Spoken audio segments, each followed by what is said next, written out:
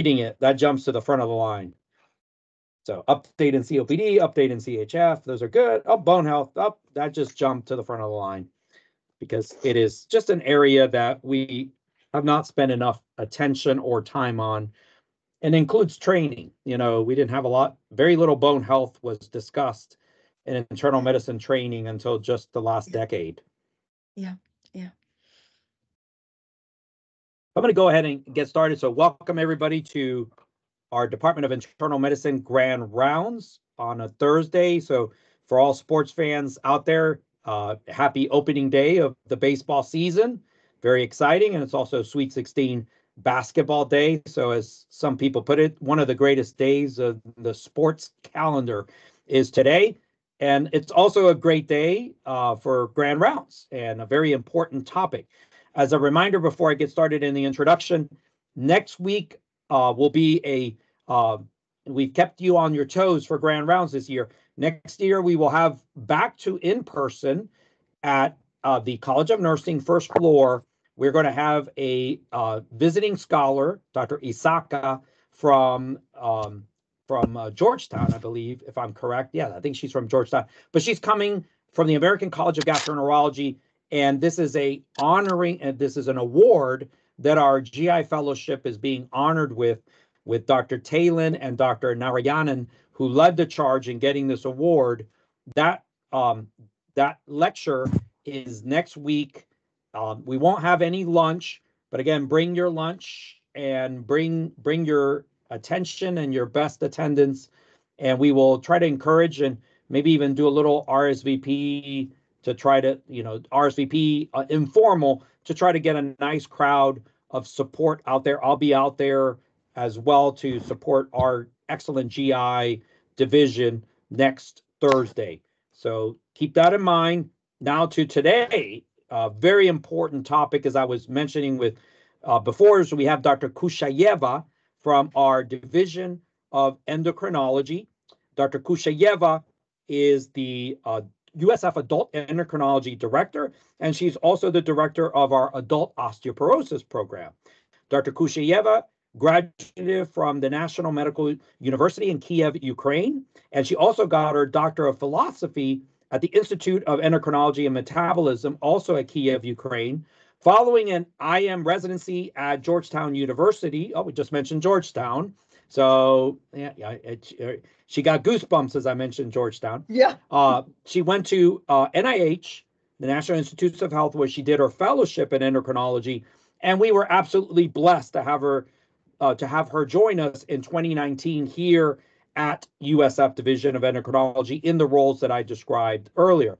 And um, she has already done amazing things in her career. She has several book chapters she has already authored uh, in books on both clinical imaging for in for endocrinologists and internists, and an orthopedic uh, orthopedic book.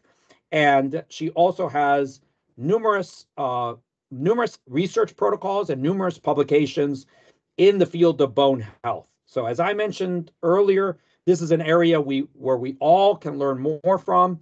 And the uh, her title today is a very important one: osteo osteoporosis medication switching. So I like the simplicity of the title to catch the eye and get everybody very much attuned to bone health. So Dr. Kushchayeva, please take it away. Thank you for being with us today. Thank you so much for your kind words. And it is a honor and a huge pleasure to uh, uh, present the topic in front of you. And today is Doctor's Day. I think this is a double honor for me to present in front all of you. Congratulations, uh, uh, uh doctors, with our day. Uh, so, and let me start my presentation. so let me share my screen and you please let me know if you can see my screen right now. Perfect. Yeah. You can. Perfect. Very good. So this is a very uh, uh, a complex topic, but I have chosen this topic because there are a lot of uh, unclear answers, a lot of just expert opinions, and not too much information we would like to have in, in our current guidelines on osteoporosis management. So I don't have, I have nothing to disclosure. And I will, I, I built my presentation just on treatment, but, but there are a few slides on osteoporosis. I don't think so I even needed to present them, but just, just, just a reminder that osteoporosis, as you very well know, this is a silent, painless disease until, until fracture happens. Uh, unfortunately, we are not aware about this disease. This disease is uh, uh, characterized of low bone mass and microarchitectural deterioration of bone tissue. And the key point here that because this is a chronic disease, uh, uh this disease requires a lifelong management. So whom we usually consider for treatment based on our guidelines. So first of all, fragility fracture, especially hip and spine. So we assuming this is osteoporosis regardless what is um, what DEXA is showing, regardless T-score. So if T-score of minus 0.5 and below in spine, hip, or one third of radius, or if you have patient with osteopenia, but using a FRAX score, which is a fracture risk assessment tool that is freely available uh, uh, online, you will get 10 year risk probability for major osteoporotic fracture 20% or above or 10 year probability for hip fracture 3% or above so you need to discuss treatment with your patient also we have a category uh, uh, uh, that can be defined like a very high risk for fracture. So any patient with osteoporosis is a high risk for fracture, but those people are a very high risk for fracture. And you will see a little bit later why it is important. So who can be considered in this a group of a category of patients. So patients with a recent fracture uh, who had fragility fracture within the past 12 months uh, patients with fractures who are on approved osteoporosis therapy or who had multiple uh, uh, uh, fractures. Fractures while on medication that can cause known uh, uh, cause for skeletal harm. I'm talking about steroids, androgen deprivation therapy, aromatase inhibitors, checkpoint inhibitors, and so on. So, or when patient has a very low T-score, which is minus three or below in any region of interest, or when a FRAX score will show you a very high fracture probability within 10 years, which will be more than 30% for major osteoporotic fractures and more than 4.5% for hip fractures. So what we have currently on the market, again, I, am talking right now only about first line pharmacotherapy options that we are using are very well known anti-resorptive medications, bisphosphonates, oral IV, alendronate, risedronate, ibandronate, uh, reclast, and denosumab or Prolia. We have anabolic medications, which are parathyroid hormone analogs. This is teriparatide or Forteo, Bonsity, which is the same teriparatide, or it is PTHRP analog, which is abaloparatide or Tymlos. And we have a relatively new right now already medication that was uh, uh, approved in 2019 in April, which is romosozumab or Evenity. And this is the medication that can provide anabolic effect and anti-resorptive effect at the same time. So key points on osteoporosis therapy. Uh, so we know that effect of all osteoporosis medications uh, usually will have a plateau or even wanes with long-term treatment. It is true may, maybe for all of medications, but possibly except Prolia or denosumab based on current literature upon discontinuation of osteoporosis medications, the skeletal benefit will be lost. And it's very quickly with all drugs except bisphosphonates. Bisphosphonate effect will win much uh, uh, uh, slowly than if you're talking about other medications like anabolics or or, or, or uh, uh, Prolia. Um, there is no single treatment approach for patients with osteoporosis. And optimal management usually should be uh, uh, tailored for each particular patient and involve the sequential use of different classes of osteoporosis medications. And only recently we started talking about kind of like a proper sequencing of those medications correct? Like uh, before the anti-resorptive medications were number one in all of guidelines. Right now we have concept treat to target. Uh, so when anabolic medications will be proposed to be used first, and we will talk about this as well a little bit later. Uh, so what you should take, uh, what it would be great to take into consideration before you're thinking about uh, switching a patient from the uh, current osteoporosis medication. So you need to know what exactly patient has been used before and for how long. It will make a difference and you will uh, uh, see a couple of slides later. So any contraindications um, uh, for the medication that you are going to use right now or any side effects that patient might had in the past for exactly the same medication or this group of medication. Uh, uh, so um, age of the patient, history of medication non-compliance because some medications like Prolia should be given every six months without any delay in treatment. And if you see that patient was missing already, I don't know, oral bisphosphonates or maybe IV, uh, IV reclast infusion. So the question, will the person uh, follow with your every six months prescription for Prolia? Of course, can patient physically do uh, uh, some treatment like presence of tremor, muscle weakness, residual neurological defect that can preclude or affect self-injections? Maybe patient has a good family support who will be doing this if this medication like, like PTH analogs that should be injected every day is the best option for the patient. We need to talk to the family. Can do they uh, help here? Any dental procedure that is pending or is going to be done very soon uh, before you switch to, to, to a new medication. And what will be the next medication after this one you are going to switch patient to? Uh, uh, so also very important to tailor your treatment to the patient's routine.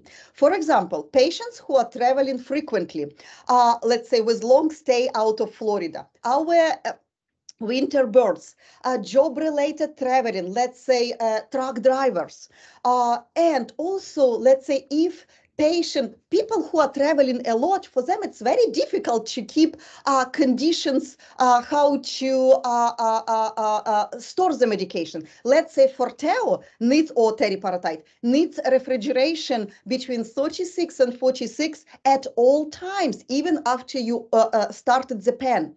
When we are talking about Tymlos, which is a abaloparatide, you should keep this pen until you started using this at the same conditions like Forteo. But whenever you started using uh, this pen, you can store this pen up to 30 days, which is exactly uh, uh, how many days this pen is for, between 68 and 77. Maybe it will be more reasonable, reasonable for people who are traveling.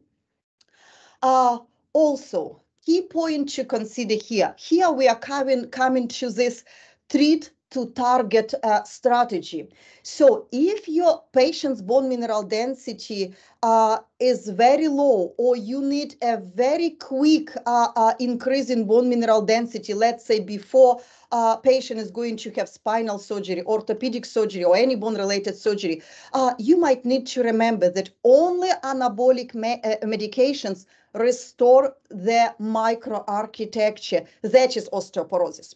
Only anabolic medications will result in larger and faster increase in bone mineral density when we are comparing with anti-resorptive medication. So if you need this effect as soon as possible.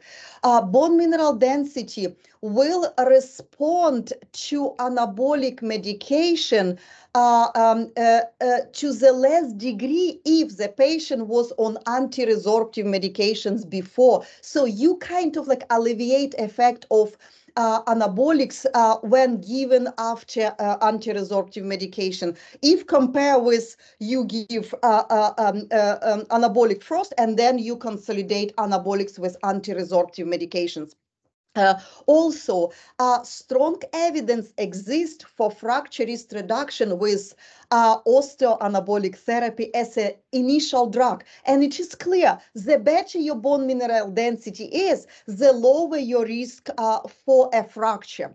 So the effect of fracture risk uh, uh, of giving osteoanabolic after anti-resorptive, it's still not clear. Uh, so, and also we know that anabolic medications, especially teriparatide and romosozumab, because they investigated more, uh, have been shown to be superior to oral bisphosphonates in improving bone mineral density and reducing fracture risk. So this is a busy slide, but we will go slow here because some medications uh, can be not on the table at all. And how you see which medication you really can even propose to the patient. Let's start and let me let me use a laser. Okay, so let's start with bisphosphonates. So, and you know, majority of our osteoporosis patients, they are elderly people, you know, and they might have a lot of comorbidities. And if your patient does not have an ability to stay upright for 30, 60 minutes, or have any uh, esophageal structural esophageal abnormalities that might delay uh, uh, tablet transit, uh, might have GI malabsorption, uh, whichever because of IBD, Crohn disease, ulcerative colitis, whichever, uh, or have kidney function with GFR less than 30 or 35, depends on medication, uh, or for IV Reclast, uh, uh, uh, uh, it should be less than 35. So bisphosphonates are not the best option for the patient. So, okay, now denosumab if you have a patient, denosumab usually tolerated very well, and denosumab usually uh, doesn't have too much contraindications or warnings uh, to start, except uh, uh known severe hypocalcemia, especially in patients with CKD. So what you need to do, you just need to check calcium level, vitamin D level, and to normalize everything before you start patient on Prolia or denosumab. So uh, anabolics, abaloparatide, teriparatide, when they are not recommended. So high risk for osteosarcoma. Paget disease, unexplained elevation of alkaline phosphatase. Do work up here, just prove this is not bone related. Pediatric and young adults with open epiphysis. This is also interesting uh, point here because we know that epiphyses are, are closing in the different time uh, through our uh, young, young uh, uh, adult life. So also prior external beam or implant radiation therapy that is involving the skeleton. People with bone metastasis, people with history of skeletal malignancies, uh, hypercalcemic disorders, and also, also, it is a difference between teriparatide and abaloparatide. Uh, recently, two-year limitation for the lifetime use was removed from Forteo, but it's still present for uh, uh. So it means if the patient was on Tymlos for 24 months already, so you cannot continue Tymlos. You can consider Forteo, but you cannot continue Tymlos. So now romosozumab watches Evenity. So here we have a warning box uh, based on Federal Drug Administration even it's still not very clear, but people who had this medication can can can cause uh, uh, has been shown to have increased risk of cardiovascular complications. Again, it's still debatable, but, but it is not definitely recommended for patients who had stroke or heart attack within previous 12 months. I also usually for high risk uh, uh, uh, cardiac patients, I usually request a, a, a cardiac clearance to start on this medication. So, okay, now critical point, everything except bisphosphonates, everything, denosumab, teriparatide, abaloparatide, romosozumab, everything should be consolidated with bisphosphonates after you're done with uh, uh, uh, the first therapy. Uh, so, and let's start with bisphosphonates. So, you know those medications for a very long time. Uh, so they inhibit remodeling, bone remodeling, and they usually, they have very high affinity to bone hydroxyapatite crystals. So, and they preferentially incorporate into the sites of active bone remodeling. That is how they decrease remodeling and improve bone mineral density. They also undergo recycling. Uh, so that is how, at least partially, we can explain uh, long half-life in the bone tissue for bisphosphonates. And the higher affinity, the higher, uh, uh, uh, uh the longer time the bisphosphonate will stay in the in the bone tissue. So, but, but as I mentioned before, there is no improvement in trabecular microarchitecture with bisphosphonate and bone mineral density will increase over the first three, five years of therapy. But beyond this time, beyond five years, no additional increase, at least in hip bone mineral density, has been observed. And here we are facing the situation when patient has increased risk of atypical femoral fracture. And you can see the uh, uh, uh, uh incidence uh, uh, of AFF. Let's say if patient was on any bisphosphonate for uh, less than five years, it's about 16 per 100,000 person years.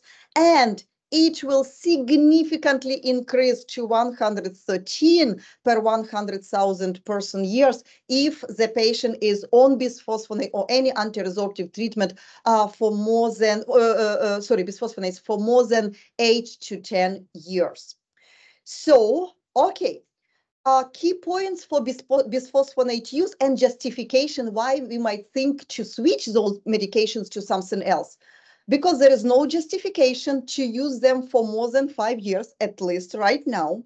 For patients with who who had already improved bone mineral density and right now they are at moderate fracture risk, maybe they are not a candidate for treatment anymore at this time and just uh, uh, stopping the treatment, going to a drug holiday with monitoring bone mineral density every two years. Uh, so this is a better option. And you can restart therapy again when the patient will meet the criteria. Let's say when bone turnover markers, especially CTX, will go up, when bone mineral density will start uh, decreasing, or patient will have a fragility fracture. Also, the patient uh, um, uh, in this situation, when patient is already uh, has been already on three five years of bisphosphonate therapy, and there is no incremental benefit to continue, but you still need to to treat this high risk uh, uh, uh, uh for fracture. You can switch to either Prolia or to osteoanabolic agent. So, and we will discuss about this again later. Drug holiday concept is um, does not pertain to any other medications except bisphosphonate use.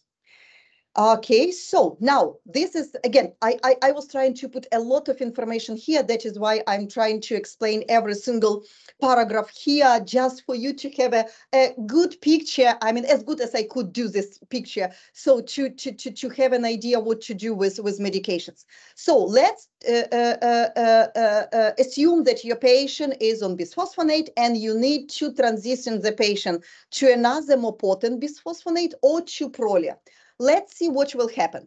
When we will compare switching alendronate, which is fosamax, the most commonly used bisphosphonate, to denosumab, and when we compare this effect when we switch in alendronate to zoledronic acid, which is Reclast, so this first group will have a greater suppression of bone turnover markers.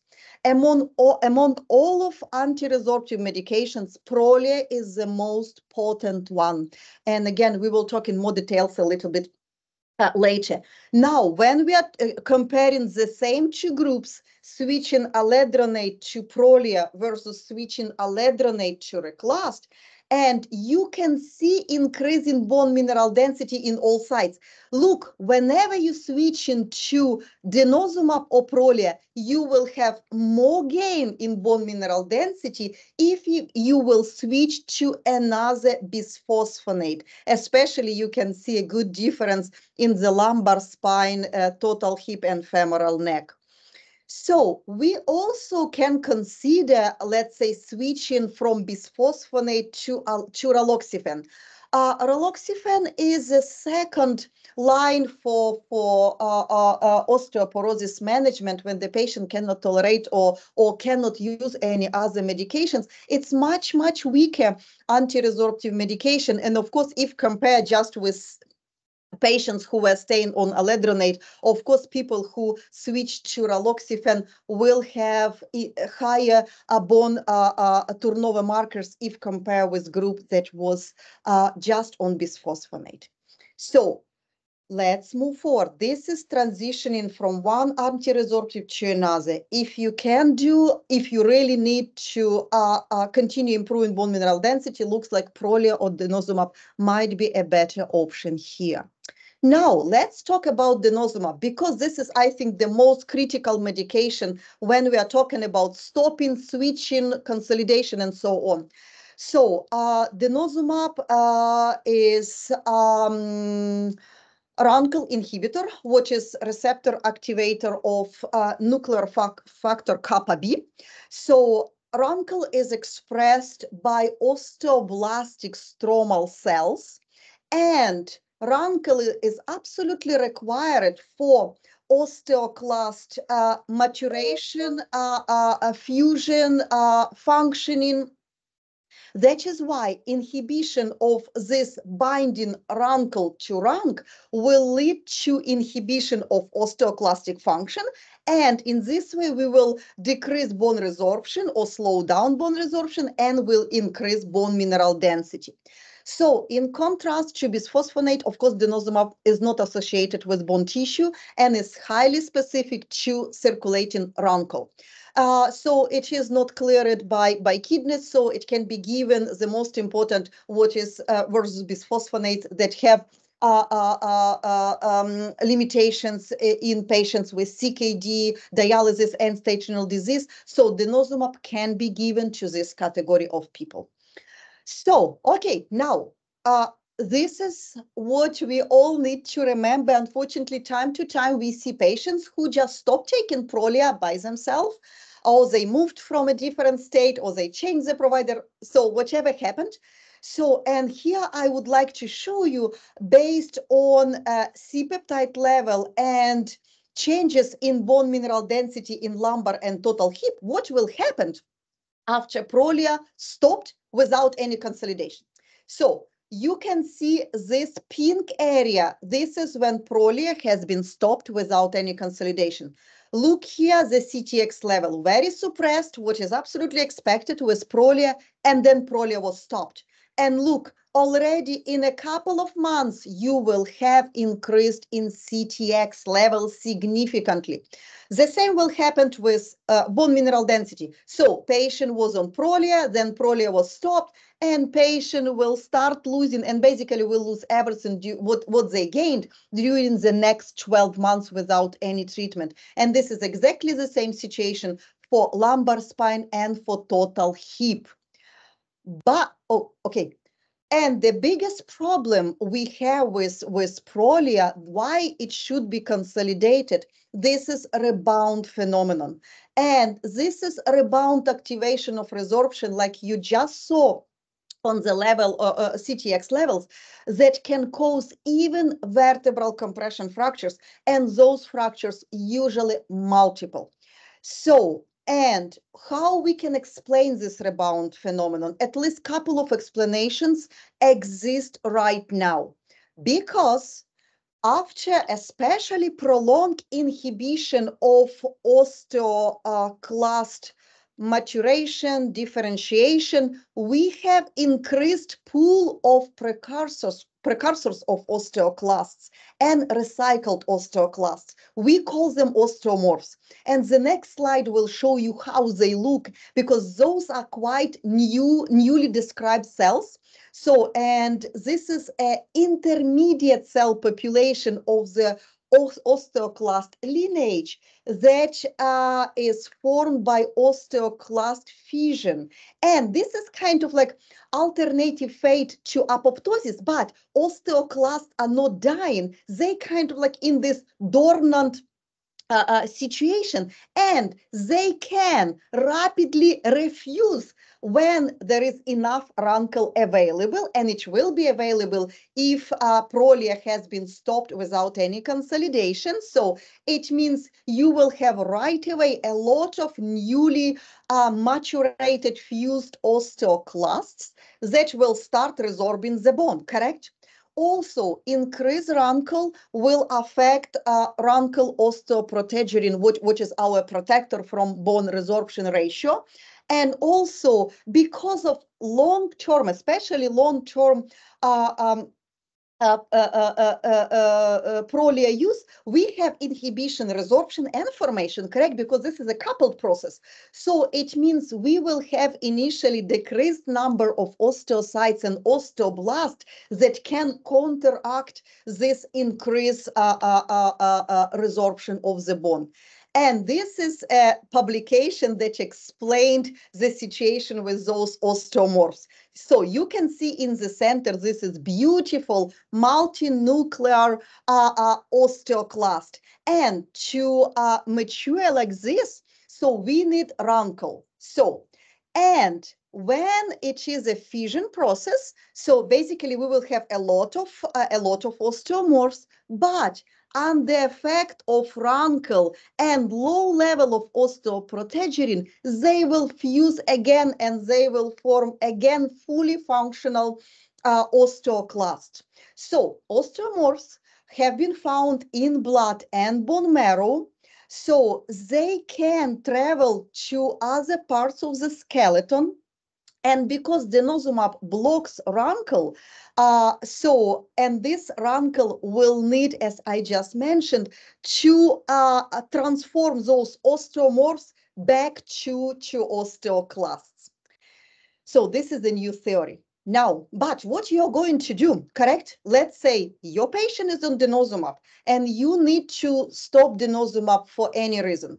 There is a very good just just uh, recent publication just a couple of years ago uh, that was uh, devoted just just to this question, how to stop prolia.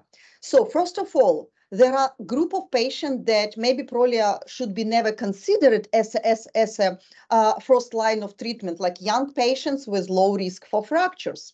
So now the next two conditions. So when patient is on prolia, it's very critically to, uh, critical to know how long the patient has been on prolia because the shorter duration of patient being on prolia Э, it's a little bit easy to prevent this rebound activation of resorption. And it has been shown in a couple of publications that if patient is on Prolia for less than 2.5 years, you can even switch to oral bisphosphonates for one, two years, or to give zoledronic acid for one, two years, depending on revaluation and bone turnover markers will be very important will be very important here uh, so I'm sorry about this.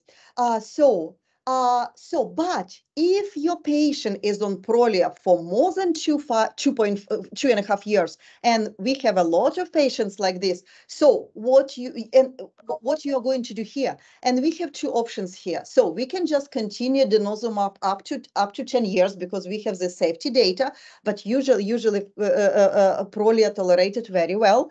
So, or if you need to stop Prolia, so you will switch to zoledronate, that is weaker anti-resorptive medication. And because it is not as potent as Prolia, the expert opinion right now, it's still not in the current guidelines.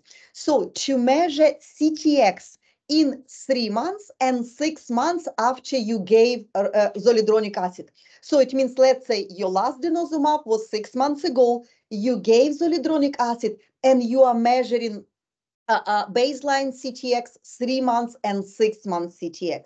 And if you see that CTX is trending up above geometric mean for premenopausal women, you can consider the second infusion of zoledronic acid in six months.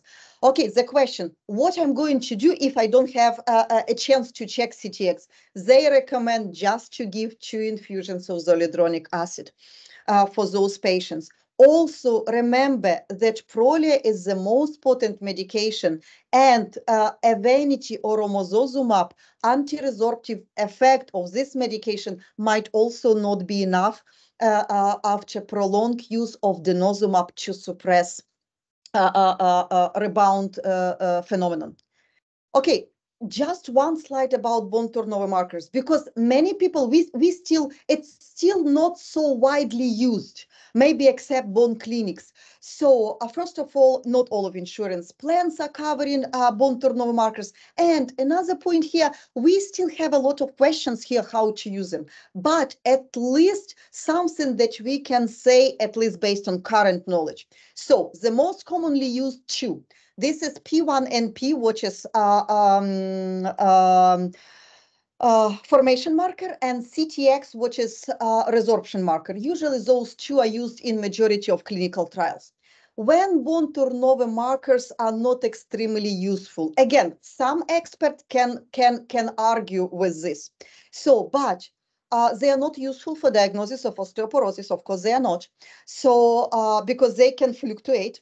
So also they are not very useful for uh, individual prediction of bone loss, fracture, or uh, uh, uh, rare complications like osteonecrosis of the jaw, or let's say atypical femoral fracture.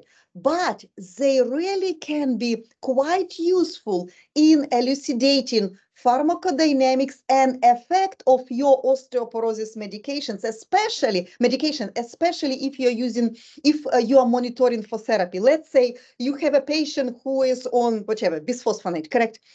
especially oral, and you don't see any improvement, it's okay, one year, two year, no improvement, you can check CTX and to see if it is really suppressed. Maybe your bisphosphonate just not very well absorbed, so it means patient is not getting real treatment and this is the good time to switch the patient for injectable infusible medication.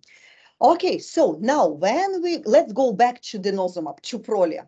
Usually stopping denosumab is associated with rebound increase in those markers in about eight to nine months after the last dose.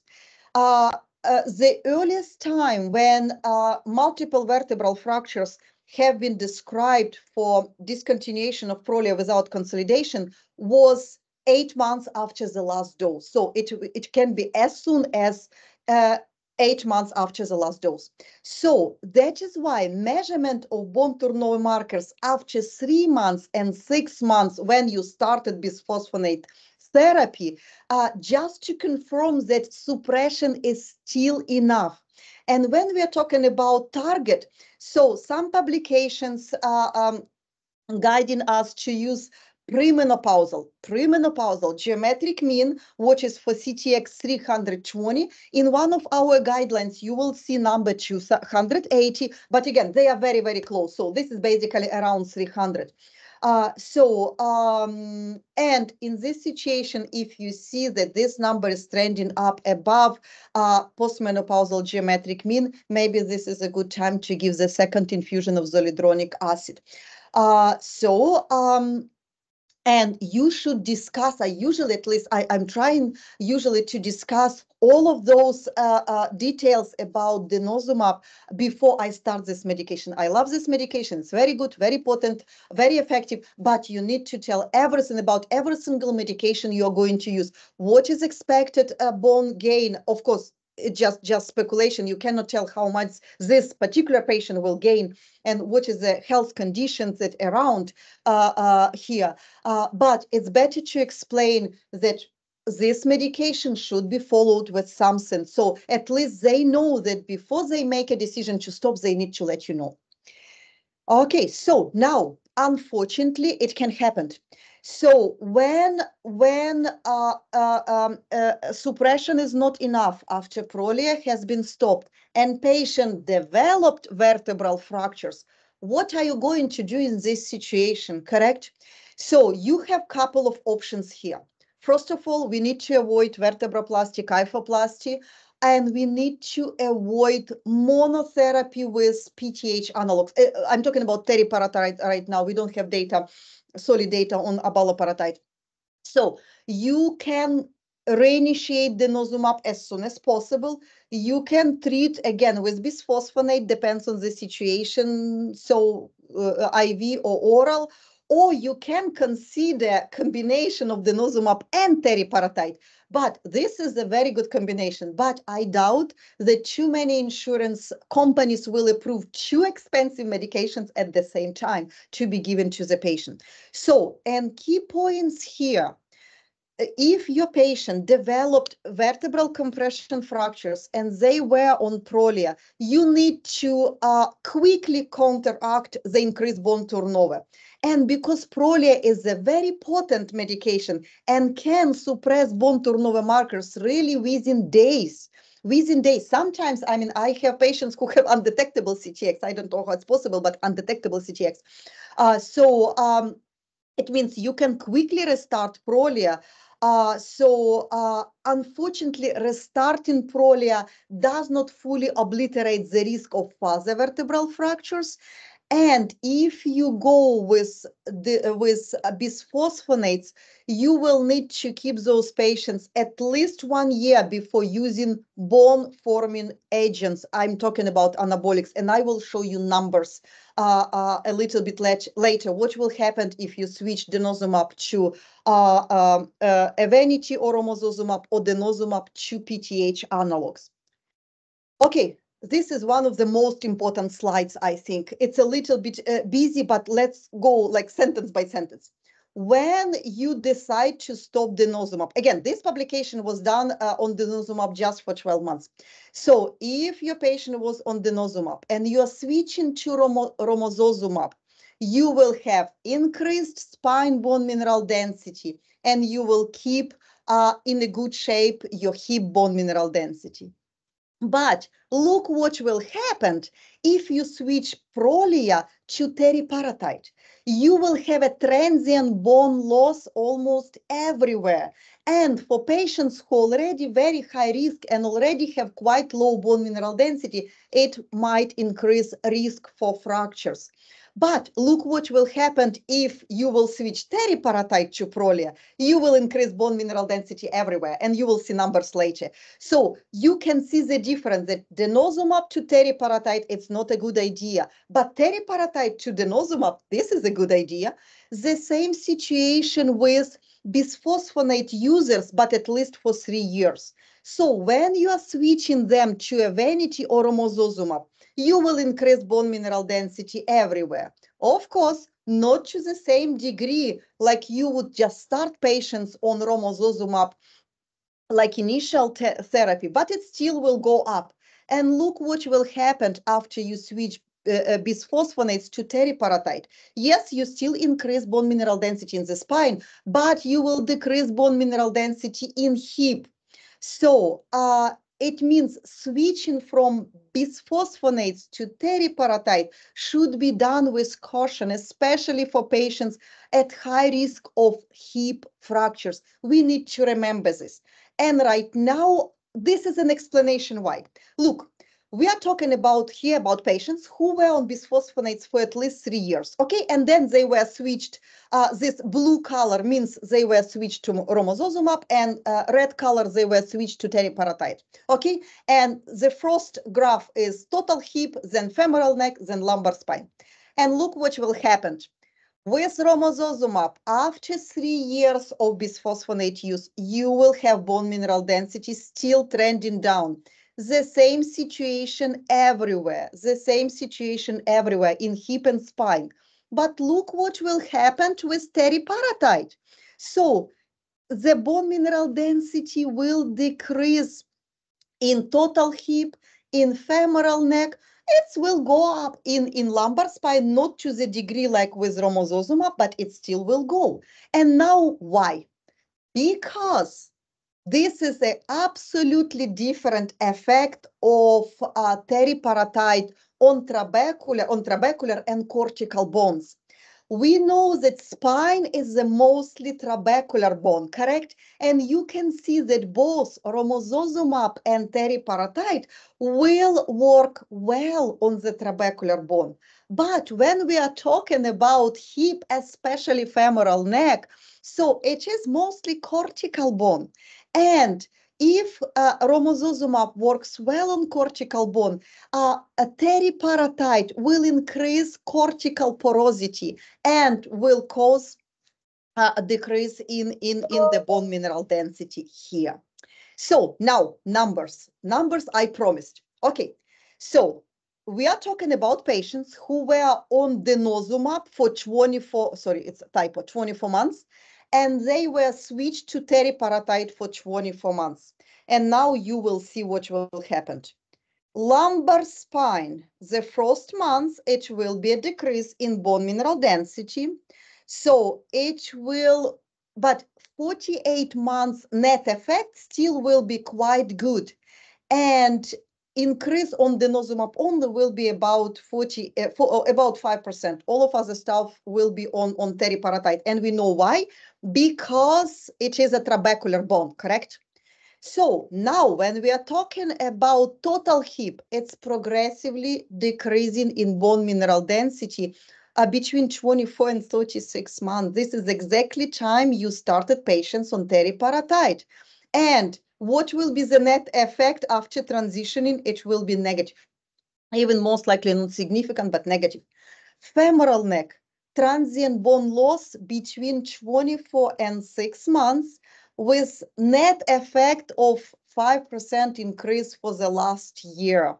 So that is why after the transitioning from the, uh, uh, so if you transition, it's, it's like a critical point to remember uh, in some patients, when you transitioning from denosumab to Forteo teriparatide, the rate of bone remodeling might be even greater if you observe if, uh, uh, uh, uh than you observed with denosumab discontinuation alone. So that is how we can explain all of uh, those results.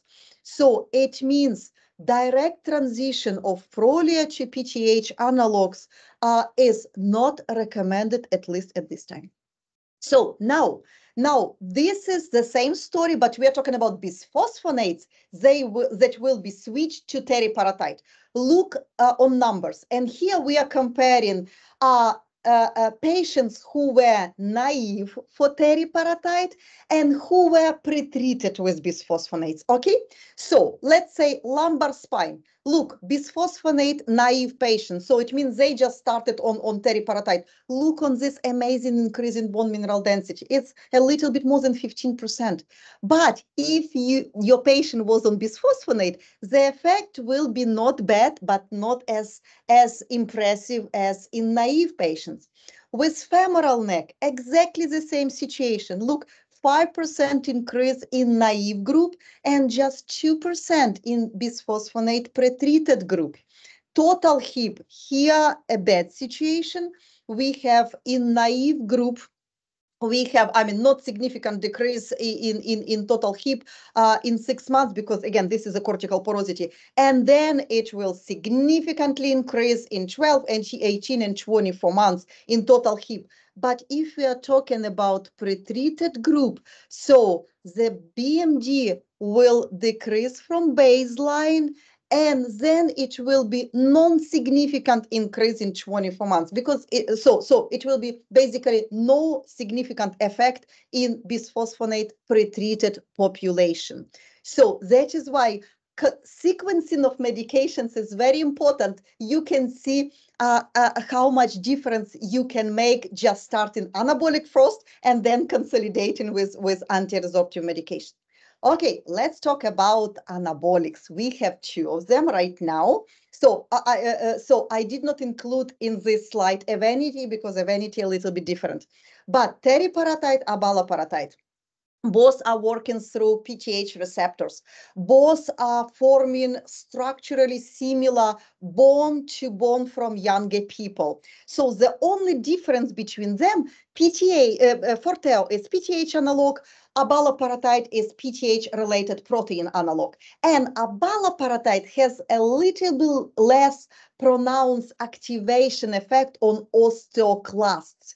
So because uh, PTH analogs, they will stimulate formation, slightly stimulate resorption with a good net effect of, of uh, increased formation, but abaloparatide has weaker effect on, on the resorption.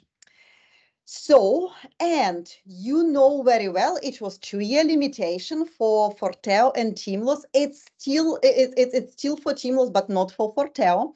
So it means you can use Forteo longer uh, before thinking about switching. So how you decide uh, who really can use Forteo for a longer time?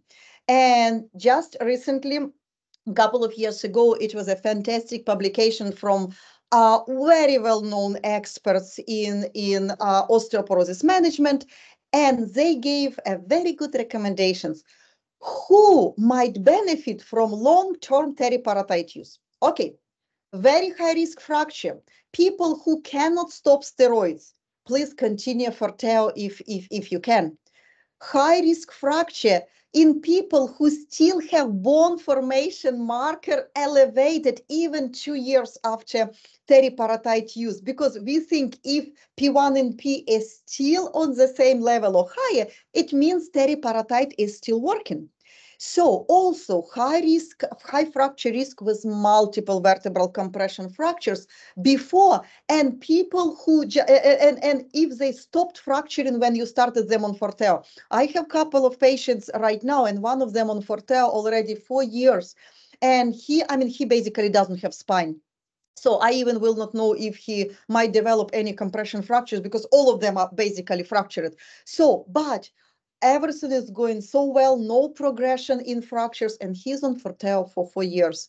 Uh, so at this point, so also adynamic renal bone disease, because those people they have a very low bone turnover, very low bone formation, poor osteoid development, and using teriparatide for a long longer time in those people, they can respond to treatment and at least uh, uh, uh, uh, keeping the same bone mineral density, if not improving.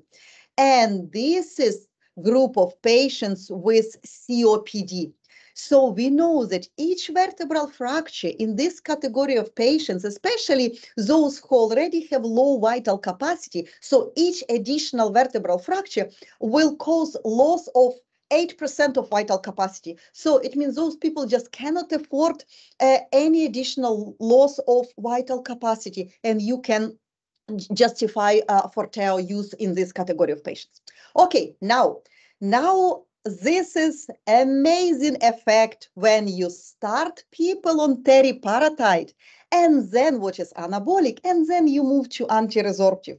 So look, 24 months of teriparatide, 24 months of denosumab, and look at results, lumbar spine, 48 months increase, 18%, and eight of them because of anti-resorptive and approximately 10 uh, previous because of anabolic. Total hip, 6.6 increase uh, total uh, for 48 months with uh, close to 5% being on denosumab.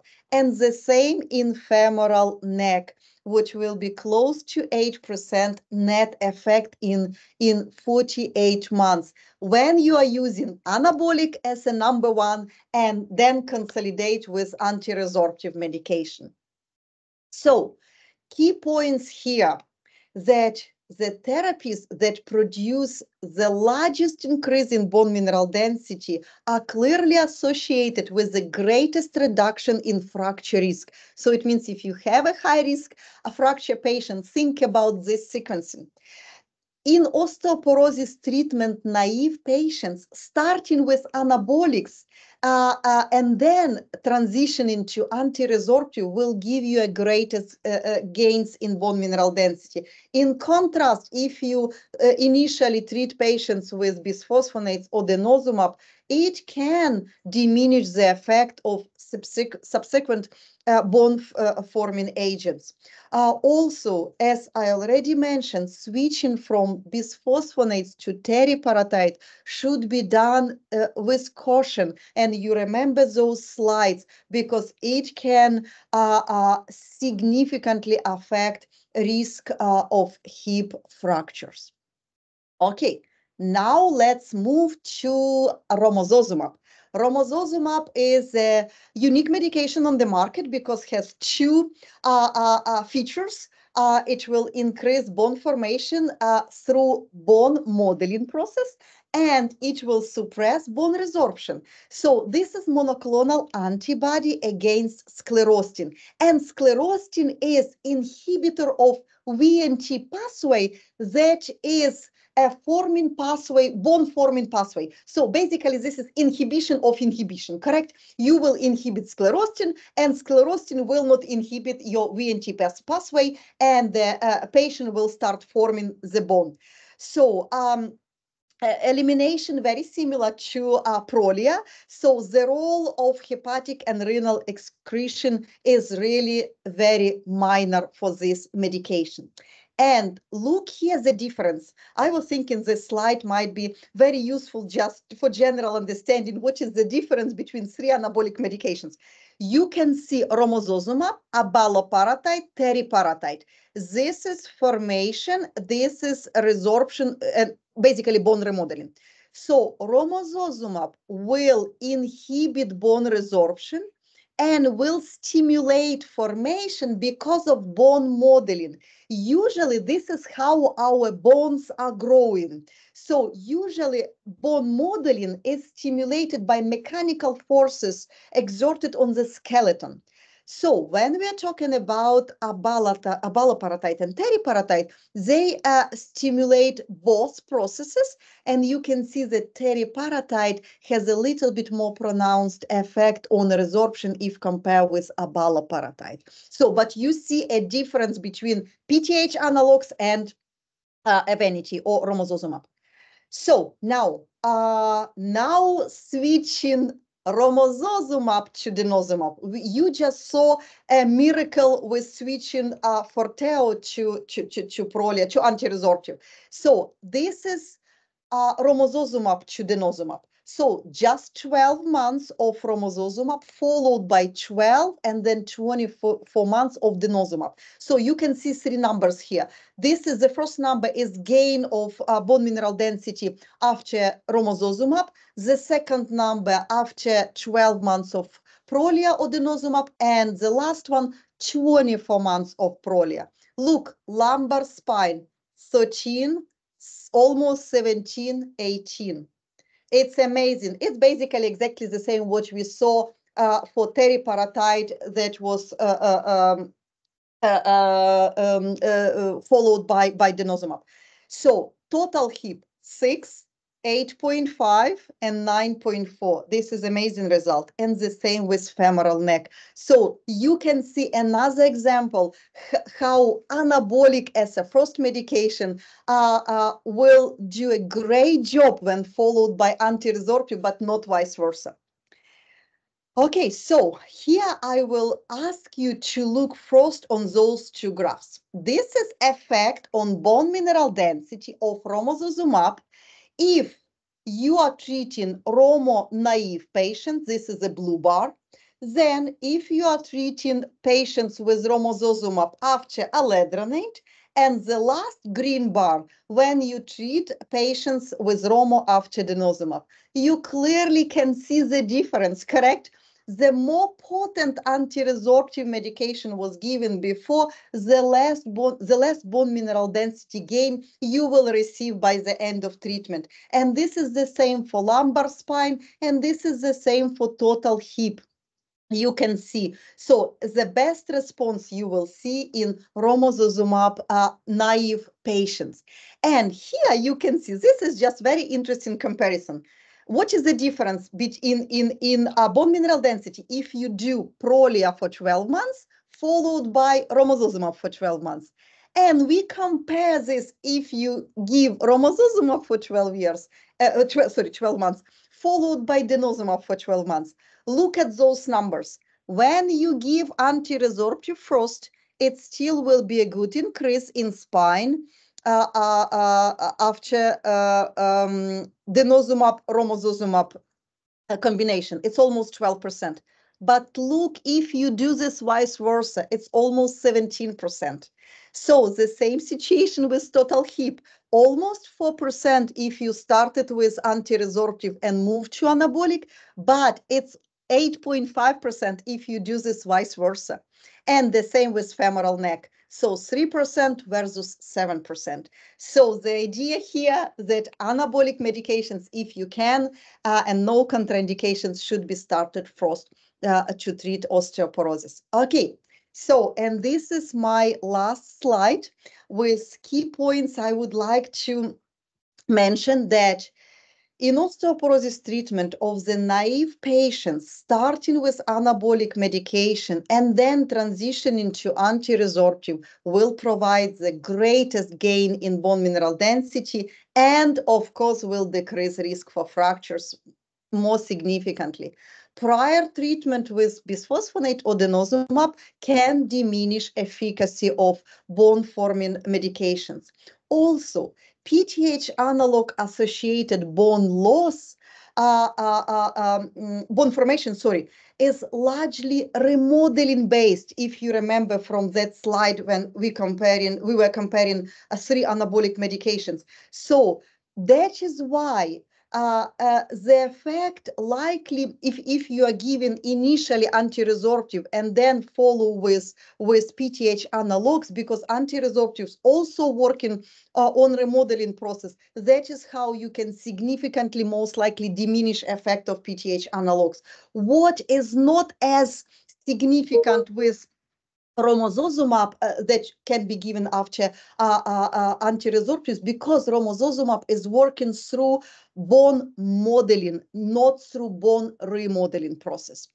Okay, so denosumab discontinuation always requires con consolidation treatment uh, transition to teriparatide should be avoided uh, because you know that it will lead to accelerated bone remodeling, rapid bone loss until the point of vertebral compression fractures. And of course, if you can, even it is not recommended, plan ahead uh, uh, how you are going to switch medications. Because if you see a patient with very low bone mineral density, unlikely one medication will be enough. Then because osteoporosis is lifelong disease with lifelong management, so it's good idea at least to have plan what are you going to do. Of course, those plans can change based on the health situation, but at least you will have an idea Uh, uh, uh, what might be your next medication uh, for this particular patient. So, and I think I'm done here.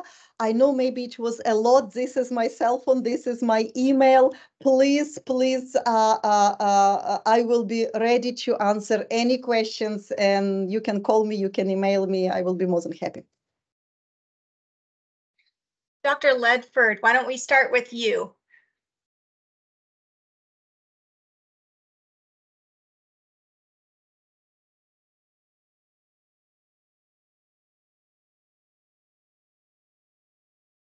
Uh, I, thank you, but uh, that was an excellent review. It was uh, fascinating. I, I had a, several questions and we don't have time, but I, I was just curious. Currently, in my experience, insurance companies will not cover newer agents until you try bisphosphonates, and it sounds like that's exactly the opposite of what we're we're doing. That we should be doing the other. And so I was curious of whether payers are going to recognize that this is the strategy we should should use, meaning bisphosphonates after uh, um, uh, anabolic agents. And the second is, do bisphosphonates work better if you start them before the bone density loss? Say you're entering menopause, why not start it immediately and not wait for a drop, drop in bone density? Or when you're starting the corticosteroid, start it immediately, and, and it, it will be more effective because you're blocking the the loss of bone rather than trying to undo what's already happened. Uh, uh, Dr. Ledford, I completely agree agree with you. So I usually prepare whichever letter of necessities. I'm talking to insurance companies just to approve uh, uh, uh, anabolics. Also, also we have a good option right now. I'm sure you know about this. That our TGH outpatient pharmacy has low price program and Forteo included there. So it means if patient will be qualified based on their criteria, the patient will receive Forteo, and by the way, and Evenity as well, something like four months per month or uh, per month, four dollars per month or ten dollars per three months, something like this. But I already have five patients like this, so I was not able to go through insurance. I'm doing this through Tampa General Pharmacy. So, uh, so can you can you send some to the VA, please? I would appreciate that. the VA pharmacy does not have the same deal. So, uh, so we are lucky that Tampa General does the same with insulin, the same with a lot of other medications. And this is a very good point that you uh, uh, uh, raised with transition into menopausal period because we are losing the most bone mineral density like around this last menopausal period, like couple of years before and couple of years of after, before everything will go to plateau. And sometimes when I see that patient is already with low bone mineral density, I'm giving prophylactic doses. Also the same situation with steroids. You know that patient is going to be, I don't know, on high dose of steroids, and you know that patient will lose bone mineral density. While why why should we wait until they start breaking bones? Correct. So yes, I'm doing this. The same with with let's say spinal cord injury. This is very debatable. People are uh, so uh, uh, uh, some people just not starting any medications after spinal cord in cord injury, but you know that they will start losing bone mineral density very quickly, so especially during the first 12 months. So maybe it's better to prevent this. I agree completely. Agree. Dr. Shiroki?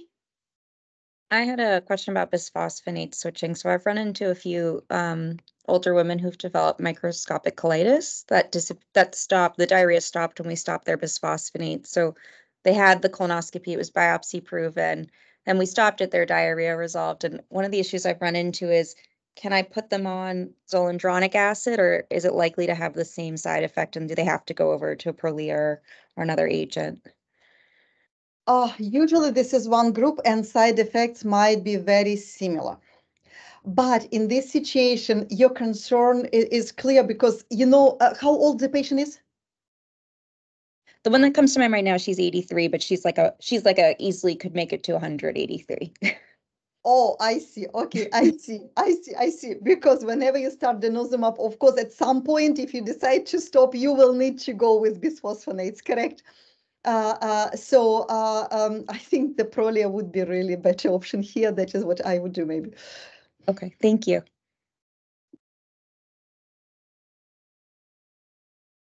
And again, anytime you can call, you can text, whatever I know, I will share with you.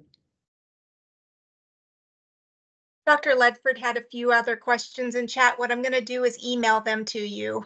Okay. So you can correspond with him. Okay. Okay. All right, I think that's it for today. Um, if anyone has any questions, you can get in touch directly with um, Dr. Kushchayeva or um, through me if you'd like. Yes. Thank you. Thank you so much. Thanks.